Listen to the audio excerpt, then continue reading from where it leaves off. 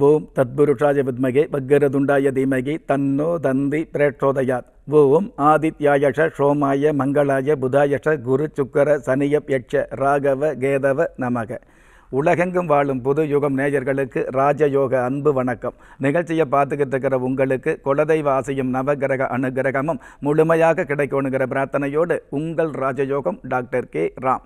Astro three sixty நிகழ்ச்சியில் இன்றைக்கி நம்ம பார்க்க போகிற கேள்வி அப்படிங்கிறத விட பொதுவாகவே நீங்கள் நிறைய பேர் சொல்லக்கூடியது நிகழ்ச்சியை பாராட்டக்கூடியது.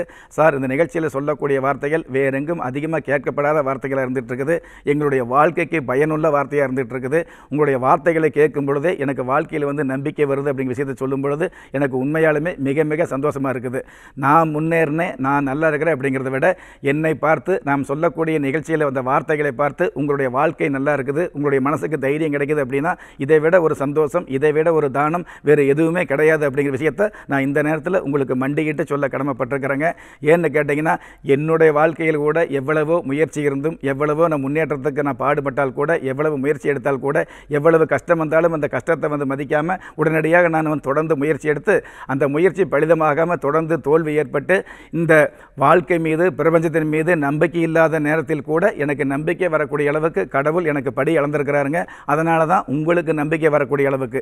என்னுடைய வாழ்க்கையில் நம்பிக்கையே இல்லாத வாழ்க்கையில் நம்பிக்கை வர வைத்த அனைத்து குலதெய்வத்தையும் ஆசீர்வாதத்தோடு நான் வணங்கி உங்களுக்கு நம்பிக்கை வரணும். அந்த நம்பிக்கை வெறுமனே நம்பிக்கை இல்லாமல் உண்மையாலுமே வெற்றியான நம்பிக்கையாக வெற்றியான வாழ்க்கையாக உங்களுக்கு அமையணுங்கிறதுக்காகத்தான் இந்த நிகழ்ச்சியில் மகிழ்ச்சியான செய்தி அப்படிங்கிறத விட நெகிழ்ச்சியான செய்தி அப்படிங்கிறத விட உங்களுடைய ஒட்டுமொத்த குடும்பத்துக்கு வளர்ச்சியான செய்திகளை வாரி வழங்கிட்டு இருக்கிறேன் அப்படிங்கிறத திரும்ப திரும்ப சொல்ல கடமைப்பட்டிருக்கிறேன். அப்படி இருக்கும் பொழுது இந்த வாரத்தில் ஒரு சகோதரி கேள்வி கேட்டிருக்காங்க. சார் தீர்த்தம் எடுத்து வழிபாடு வச்சுக்கிறோமே எதுக்காக? கொடுமுடியில் அந்த தீர்த்தம் அப்படிங்கிறது வந்து கொடுமுடியில் தான் போய் எடுக்கணும்னு சொல்கிறாங்களே எங்கள் ஊர் பக்கம். அந்த சகோதரி வந்து திண்டுக்கல் மாவட்டத்தை சேர்ந்தவங்களா இருக்காங்க. அவங்க வந்து பழனிக்கு பழனிமலை கோயிலுக்கு முருகப்பெருமானுக்கு அடிக்கடி போயிட்டு வரக்கூடிய பாக்கியத்தை வச்சுருக்காங்க. அப்படி இருக்கும் பொழுது எங்கள் ஊரில் எத்தனையோ ஆறு இருக்குது எத்தனையோ குளம் இருக்குது எவ்வளவோ நதிகள் இருக்குது இதையெல்லாம் தாண்டி கொடுமுடியில் மட்டும் தீர்த்தம் எடுத்துகிட்டு வந்து தான் இந்த பழனிமலை முருகனுக்கு கொடுக்கணுங்கிற ஒரு விதியை வச்சுருக்காங்களே. அது காவடி எடுத்தாலும் சரி தீர்த்தம் எடுத்தாலும் சரி இந்த வழக்கத்தை வைக்கிறதுக்கு காரணம் என்ன? இது ஒரு சிறு சந்தேகம் தான். கண்டிப்பாக நீங்கள் வந்து எனக்கு உறுதியான பதில் சொல்லுவீங்க நம்பிக்கையில் அதை கேட்டிருக்கிறேன்னு கேட்டாங்க. வயசில் சிறிதாக இருந்தால் கூட வாலிப வயதில் வாட்ஸ்அப்பை பார்த்துக்கிட்டு வலைதளத்தை பார்த்துட்டு ஏமாந்து போகாமல் ஆன்மீகத்தை பார்த்து அடித்தளமான கேள்வி கேட்ட அந்த சகோதரியை இந்த நேரத்தில் உங்கள் அனைவருடைய குலதெய்வத்தின் மூலமாக வாழ்த்துறேன் ஆசீர்வதிக்கிறேன். அவங்களுக்கு வந்து என்னுடைய அன்பான ஒரு நன்றியை தெரிவிக்க கடமைப்பட்டிருக்கிறேன். ஏன் கொடுமுடி தீர்த்தத்தை எடுக்கிறோம் அப்படின்னு கேட்டிங்கன்னா பொதுவாகவே இப்போ தீர்த்தம் அப்படிங்கிறது சாதாரணமாக ஒரு தண்ணீர் வந்து பச்சை தண்ணியாக இருந்தால் கூட ஒரு பித்தளை சொம்பில் முக்கா சொம்போ நிறசொம்பு தண்ணி வச்சு அது மேலே ஒரு தேங்காய் வச்சு சுற்றி வர அஞ்சு மாயலை வைக்கும் பொழுது அந்த தண்ணீர் வந்து புனித தீர்த்தமாக மாறுது அப்படிங்கிறது இயற்கையான ஒரு இயல்பாக இருந்துட்டு இருக்குது ஏன்னு கேட்டிங்கன்னா ஒரு பித்தளை சொம்பில் நிற சொம்பு தண்ணி வச்சு அதில் சுற்றி வர மா இலையை வச்சு அதில் ஒரு தேங்காயை வச்சு அதுக்கு மஞ்சள் குங்குமம் வைக்கும் பொழுது இந்த முப்பத்து முக்கோடி தேவர்கள் எங்கே இருந்தாலும் சரி எந்த பக்கம் பார்த்து திரும்பிட்டு இருந்தாலும் இந்த கலசத்தை பார்த்து தான் ஆகணும். அது அவங்களுக்கு உண்டான விதி. அதனால் அந்த தண்ணீர் வந்து தீர்த்தமாக பாவிக்கப்படுது தீர்த்தமாக மாறுது. இது யதார்த்தம். ஒன்று அப்படி இருக்கும் பொழுது அந்த மாதிரி பித்தளை சொம்பில் தண்ணி வச்சு நாமளே முருகருக்கு ஊற்றலாமல்ல ஏன் கொடுமுடி போய் எடுத்துகிட்டு வர்றோம் அப்படின்னு கேட்டிங்கன்னா கொடுமுடியில் இருக்கக்கூடிய அதாவது கொடுமுடியில் இருக்கக்கூடிய அந்த மகுடீஸ்வரர் மிகப்பெரிய பாக்கியங்களை மகா பாக்கியங்களை அளவில்லாமல் வாரி வழங்கக்கூடிய அம்சம் இந்த மகுடீஸ்வரருக்கு இருந்துட்டு இருக்குது. கொடுமுடியில் இருக்கக்கூடிய அந்த தெய்வத்திற்கு அந்த சன்னதியில் இருக்கக்கூடிய ஒரு வன்னி மரம். வன்னி மரம்னு ஒரு மரம் வந்து கொடுமுடியில் இருந்துகிட்டு இருக்குது அந்த வன்னி மரத்தில் வந்து இலைகள் இருக்கும் இல்லையா? அந்த இலைகள் மிக மிக சக்தி வாய்ந்ததாக இருந்துகிட்டு இருக்குது பொதுவாகவே உங்களுடைய திருவிழாவில் பொது எந்த கிராமம் இருந்தாலும் பாருங்களேன் அந்த கிராமத்தில் வந்து ஏதாவது கிராம தேவதை இருக்கும் அல்லது காவல் தெய்வம் இருக்கும் அல்லது மாரியம்மா காளியம்மா இந்த மாதிரி ஒரு அம்மன் தெய்வம் இருக்கும். இந்த அம்மன் தெய்வத்துக்கோ அல்லது ஆண் தெய்வத்துக்கோ வருஷம் ஒரு முறை நோன்பு சாட்டி நோம்புங்கிறது திருவிழா. நோன்பு சாட்டி அந்த தெய்வத்திற்கு தெய்வ சன்னதிக்கு அந்த விக்கிரகத்துக்கு வந்து ஏதாவது பக்கத்தில் நதிக்கரையில் தீர்த்தம் எடுத்துகிட்டு வந்து அது தீர்த்தமிட்டு அது விழாவாக கொண்டாடுவாங்க. பெண்கள் வந்து பச்சரிசியில் மாவிளக்கு செஞ்சு அம்மனுக்கு சாத்தி அதை ஒரு விழாவாக மூன்று நாள் அல்லது ஐந்து நாள் அல்லது ஏழு நாள் விழா கொண்டாடுவாங்க. விழா முடியும் பொழுது மஞ்சள் நீர் தெளித்து அந்த விழாவை முடிப்பாங்க. இது எதுக்கு சொல்கிறோம் அப்படின்னா சாதாரணமாகவே ஒரு தீர்த்தம் எடுத்து அந்த தீர்த்த காவடி எடுத்து நம்ம விழா எடுத்து ஒரு நோன்பு கும்பிடும் பொழுது அந்த வருடம் முழுவதும் நல்லது நடக்குது இல்லையா? அந்த மாதிரி தீர்த்தத்துக்கு அவ்வளவு நல்லது இருந்துட்டு இருக்குது. அது அந்த வருடம் முழுவதும் நல்லது அப்படிங்கிறது ஊருக்கு மட்டுமல்லங்க உங்களுடைய குடும்பத்திற்கு.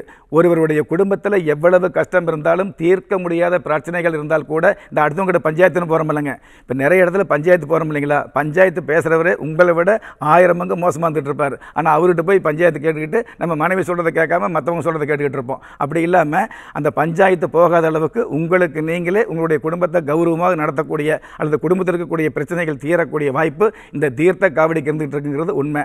அந்த தீர்த்த காவடிக்கு ஏன் கொடுமுடியில் போய் நீர் எடுத்து தீர்த்தம் எடுத்து வர்றோம் அப்படின்னு கேட்டிங்கன்னா கொடுமுடியில் இருக்கக்கூடிய தண்ணீர் வந்து வெறுமனே தண்ணீர் கிடையாதுங்க.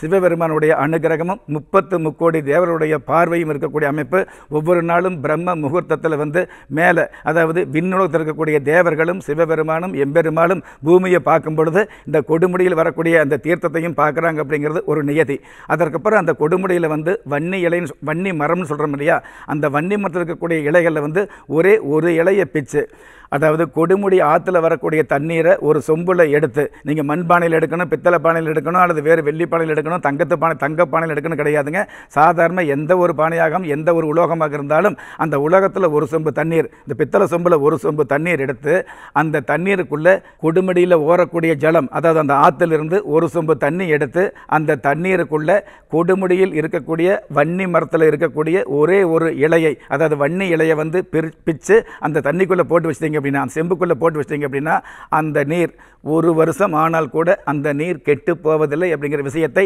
இந்த நேரத்தில் உங்களுடைய மனசுக்கு தட்டுப்பட எடுத்து சொல்ல கடமைப்பட்டிருக்கிறேன். திரும்பவும் சொல்கிறேன் கொடுமுடி ஆற்றுல ஒரு சொம்பு தண்ணீர் எடுத்து அந்த தண்ணீரில் ஒரே ஒரு வன்னி இலையை நீங்கள் பிச்சு போட்டுட்டீங்க அப்படின்னா ஒரு வருஷம் ஆனாலும் அந்த தண்ணீர் கெடுவதில்லை எந்த கிருமியும் அவ்வளவு எளிதாக பாதிப்பதில்லைங்கிற விஷயத்தை வந்து நமக்கு சாஸ்திரம் சொல்லி வச்சிருக்குது.